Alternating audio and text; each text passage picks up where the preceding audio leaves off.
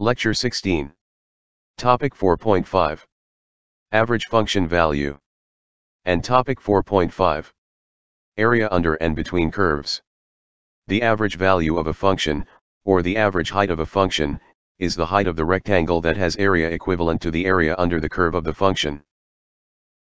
Topic 4.5.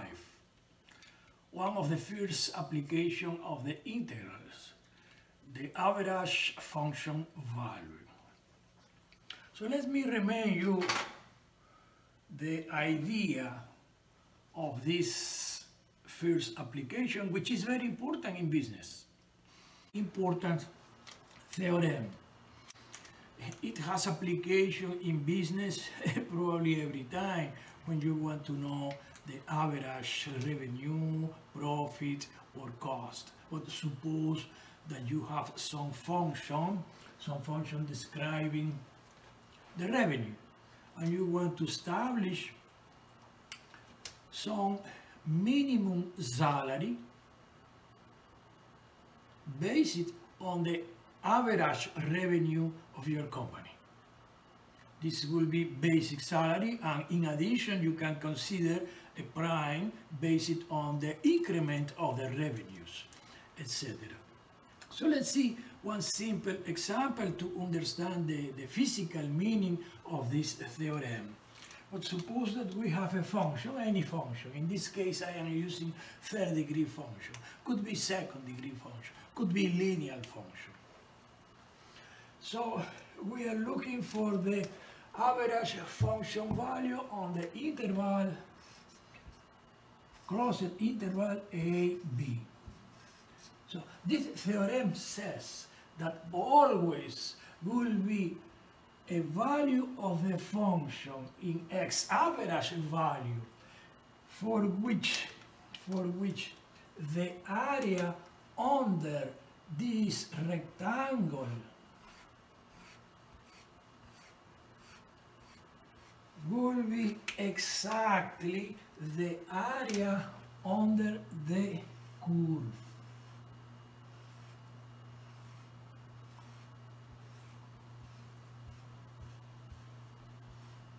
On the studied interval. In this case, we have a third degree equation, so of course we will, we will find one, two, three solutions. Okay? Eh? C, C1 and C2. Only one will work mathematically all of them, but when we get the solution, the third degree provides three solutions, probably two will be imaginary and one exact solution of the problem. So we can write in this situation that we got F in C. After that, we can evaluate C, and by this way we will know when we get average value of our production, of the process that we are analyzing. If, if having second degree equation, for example, something like this, a parabolic function, so between A and B, we will find also an average value somewhere located, let's suppose here. So this area will be exactly the same as that one. In this case, probably we will get also two solutions because second degree, but really one works, that one. This will be our value C. That's the, the, the physical meaning of the theorem. And now let's see one example. In calculus, we represent the average function value by this way. The value of the function on the average level will be equal to the integral from the beginning of the interval up to the end of the interval of the function in x divided by the distance of this interval. So Let's solve one example given a function x2 plus 3x plus 1. The question is, find the average value on the interval from 1 to 4. The function is continuous, which is a requirement in order to find the average value. So on the interval 1, comma 4. So this is a parabola like this. This is our function f in x. So as you can understand, between 1 and 4, we are looking for c value where the function gets average value.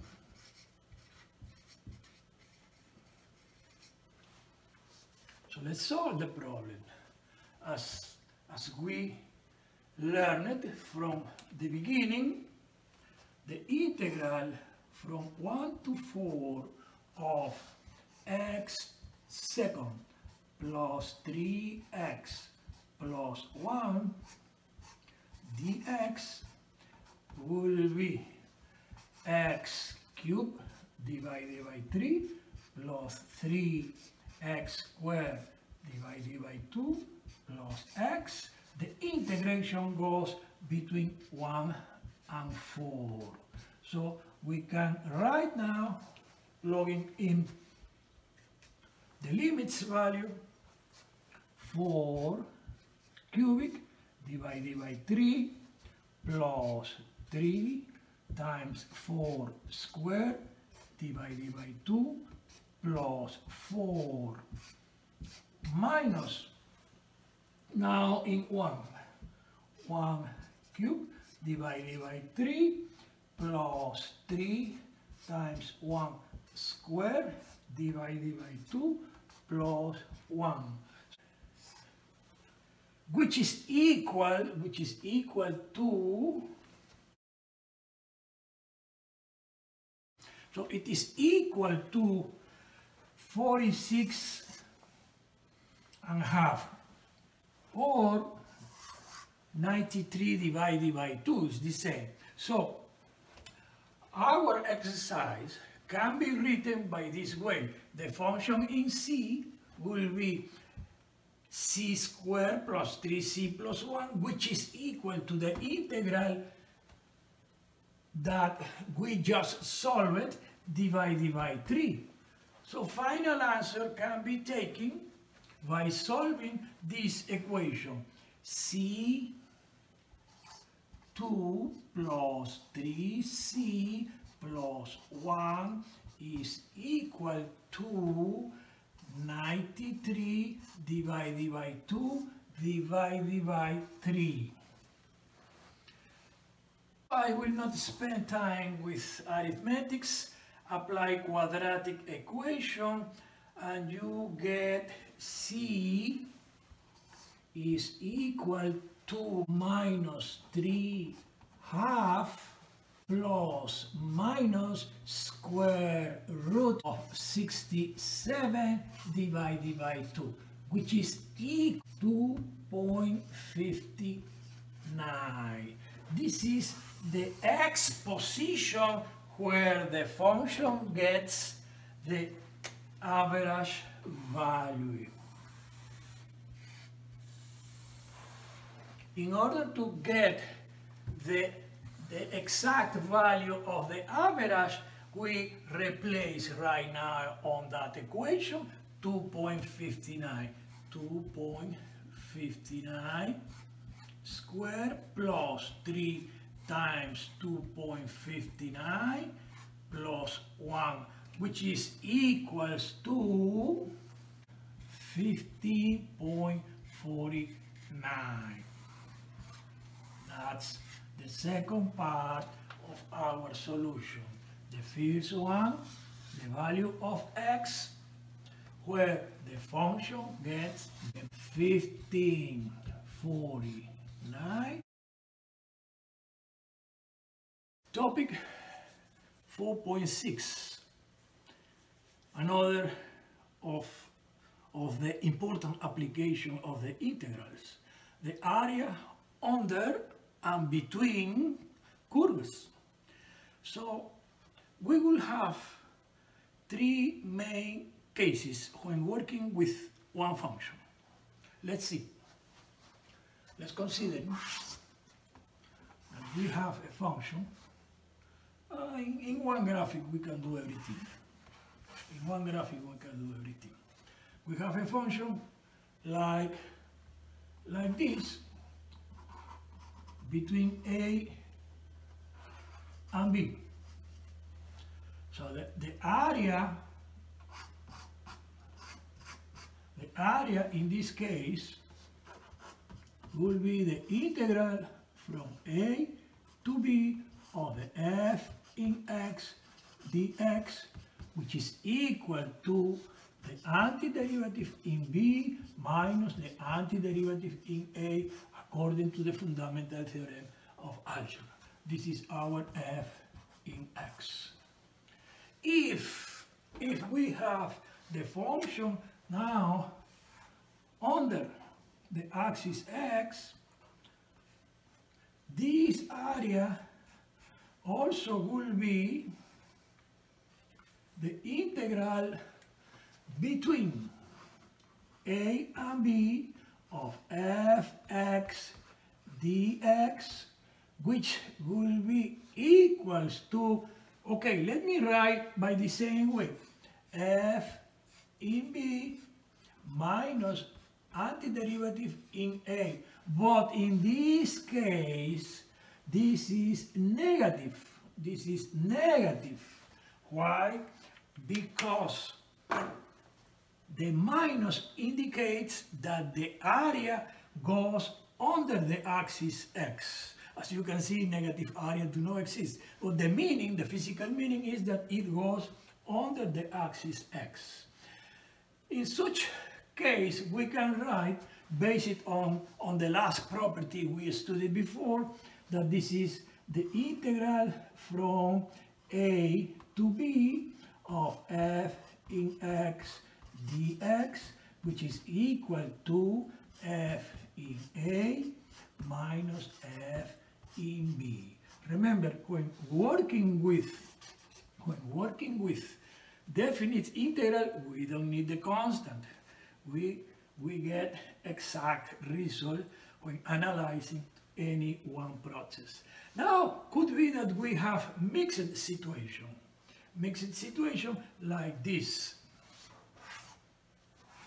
a function coming by this way, for example, and we are analyzing between A and B. Let's consider that we have here A and here B. Now, we have to solve the problem by finding the intersection with axis X. Let's call it C. Because if you calculate the integral between A and B, you will get the, the resulting solution, the resulting value from adding that part and subtracting that one. So in this case, we will have wrong result. But what is reality in this situation is the solution will be from A to C, f in x dx, plus, but this plus is negative, so we have to subtract minus from C to B, f in x dx. So the, the understanding of the of the behavior of the function is very important in order to find the correct solution. You cannot solve the problem if you don't know the behavior of the function. Could be that you solve, but it will be casualty, not because you know exactly what you are doing. So let's see a group of of three, four different variants when, when looking for the exact area under or between the graph. Let's see some situations. For example, having, having a function. First, cut the axis, and secondly, only touch it somewhere here. And we are looking for the area between A and B. In this case, we also have to solve the equation, in this case is probably a polynomial, and find this point C. Final integral, final area, the total area will be integral from A to C of fx dx plus integral from C to B of f x dx. That's the function f in x in our system. In such case, in such case, both areas are positive. Both areas are positive. But if we had something like this, in this case, in that point C, we have to change the sign. For the blue color, we have. But this procedure is really universal procedure and you can apply it when looking for the area between two curves. Let's see one example. Suppose that we have two functions like this. Function number one, for example, f in x. Function number two, for example, g in x. Now, the integration goes from a to b for both functions if we are looking for the area between them, between them. Note that before I used always A and B on the first quadrant, but A can be anywhere on the first or the second quadrant. And the equation works the same way.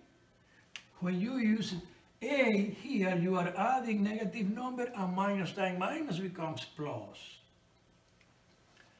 So you are adding this small sector.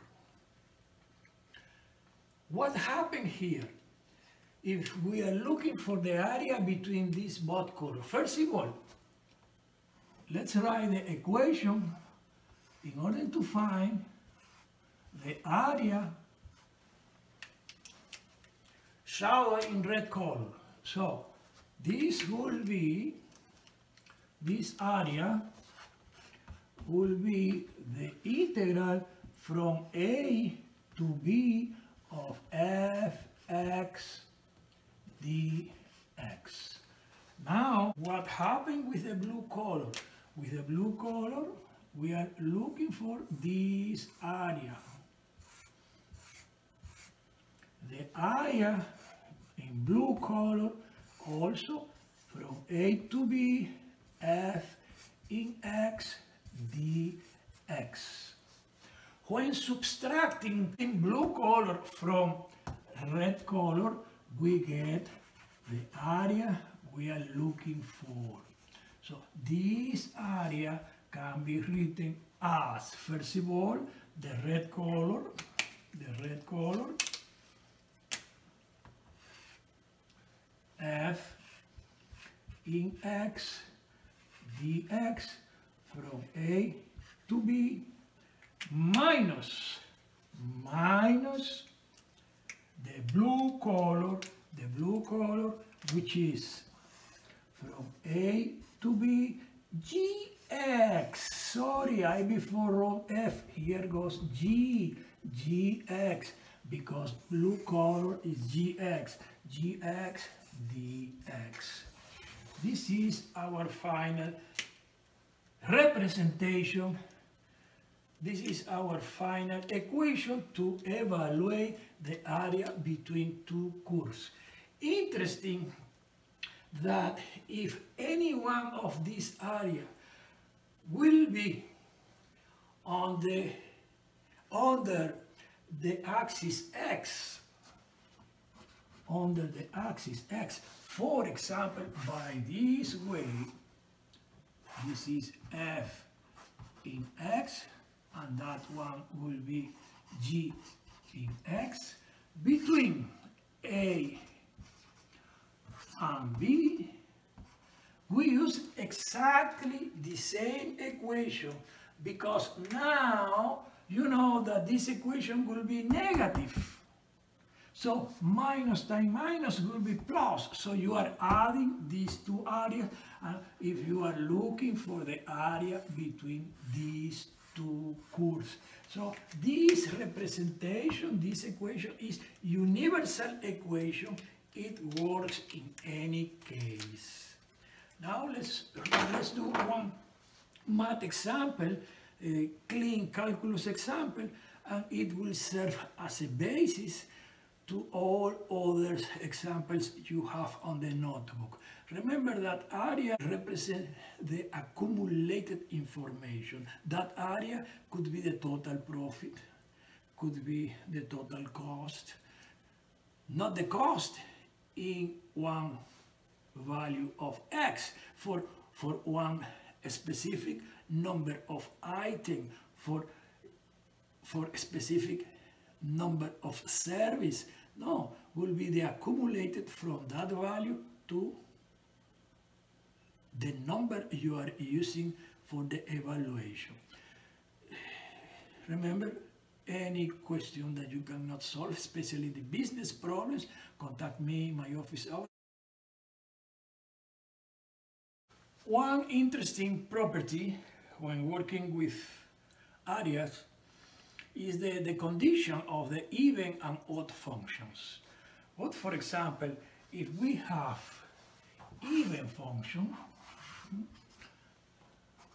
the exponent will be even number, for example, a parabola, a parabola. And let's suppose that we are working using symmetric situation between some number minus a and a. So as you can understand, the, the area in this part is exactly to the area in this part. So here works that integral from minus a to a of the f in x dx will be equals to 2 times 2 times the integral from 0 to a of f in x dx. This is for even functions. And now let's see what happens if, if having odd functions. So odd function, the exponent is odd number, they are symmetric towards the origin. Eh? The even is symmetric towards y-axis. So could be something like this, for example. So the same shape we have here on the on the second quadrant, we have on the fourth quadrant. And let's consider that we are looking for the area between A negative and A positive. We are looking for this total area. Now, here, here is a situation, be careful. If you, if you evaluate, if you evaluate the integral between minus a and a of fx dx, you get zero because these two areas are equals and this is negative, this is positive, positive, negative. Negative. So the correct evaluation will be from A negative to 0, from 0 to A. Or you can consider 2 times and use positive sign. So 2 times integral from A negative to 0 of fx dx or which will be equals to equals to equals to from 0 to a of f in x dx. This, these two properties are also very important. Now we are ready to solve one example. Example number one from the notebook on page 144. Find the area between y equals to x squared plus 2 and y equals to 2x plus 5. So this is our question. As I told you before, you have to know the function you are working with. So let's represent them. x2 plus 2. This is a parabola, something like this. When x0 in plus 2, 1, 2, 3, 4, 5, 6, 7, 8. When x0, 2, when x, for example, 1 will be 3, 3. So we have a parabola like this. Uh, let me use larger, larger units on axis x to facilitate the visualization of the graph. So for example, here will be 1, here will be 2. So we have a function like this, like this approximately. Okay, this point will be 1 comma 3, this point will be 0 comma 2. Now the second function, the second function, let's use blue color, blue color for that one. So 2x plus 5, 1, 2, 3, 4, 5, 5, here is the interception. The slope is 2, so room 1, rise 2, we have a line like this, approximately. I did a small correction to the graph to facilitate the explanation. So we are looking for this area, area between these two curves. Uh, the calculation has to be between A and B. Um, with the precision that I can work on the board, I don't know exactly where is A and where is B. So somewhere here are located these two points.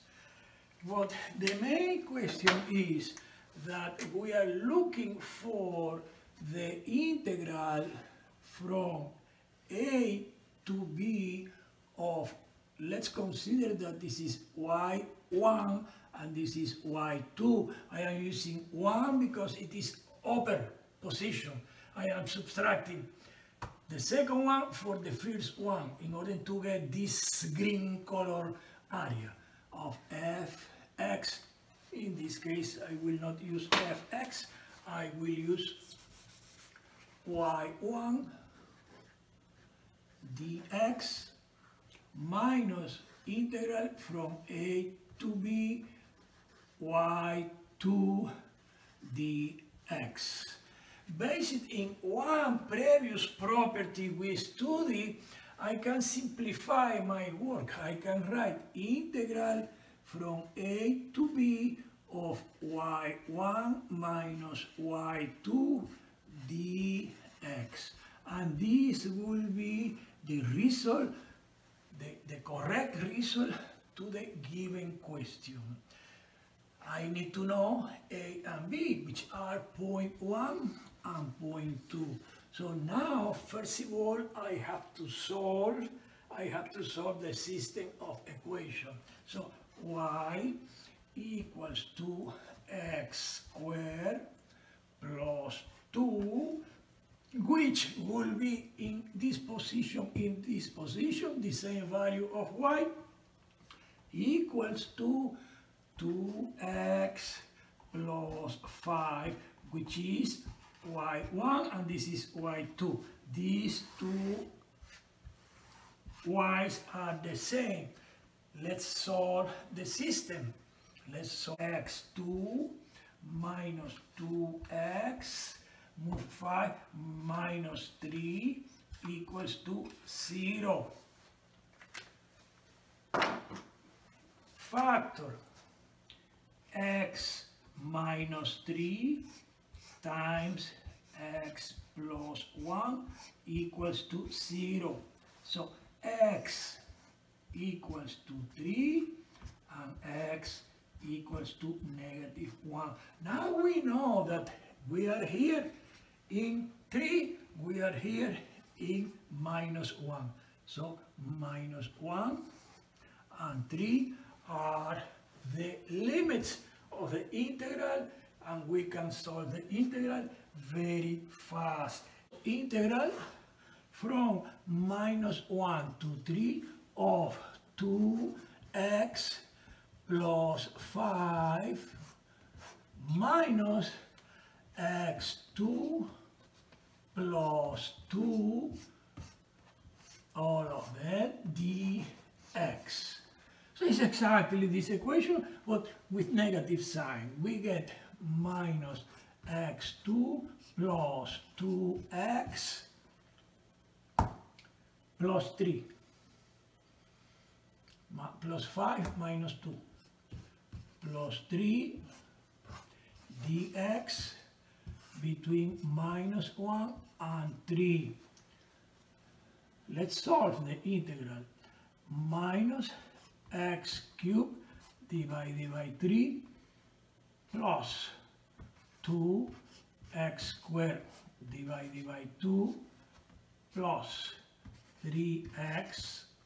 The integration goes from minus 1 to 3, which is equal to, plug in the numbers, will be minus 3 cube divided by 3 plus 2 times 3 squared divided by 2 plus 3 times 3 minus everything goes with negative but the first one positive. Plus minus 1 cube divided by 3 minus 2 times minus 1 squared divided by 2 plus 3 times minus 1. Complete this arithmetic operation, complete this arithmetic operation and you get 32 over 3, 10.667.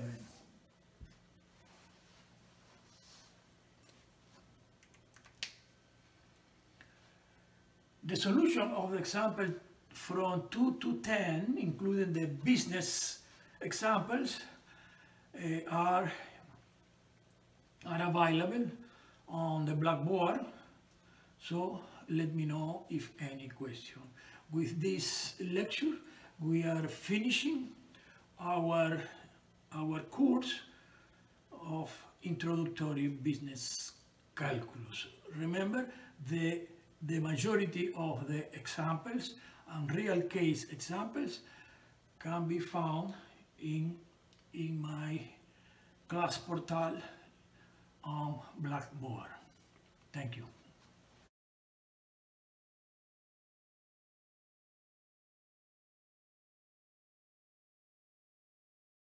The end of the lecture 16. This is the last lecture of Professor Prieto Valdes of the Introductory Business Calculus course. Examples with step-by-step -step solution, including business application, can be found in his Blackboard class portal. If you are interested in other topics included in the Business Calculus Notebook, ISBN 9798729023608, Please contact Professor Prieto Valdes using Blackboard Class Portal or his webpage. Thanks.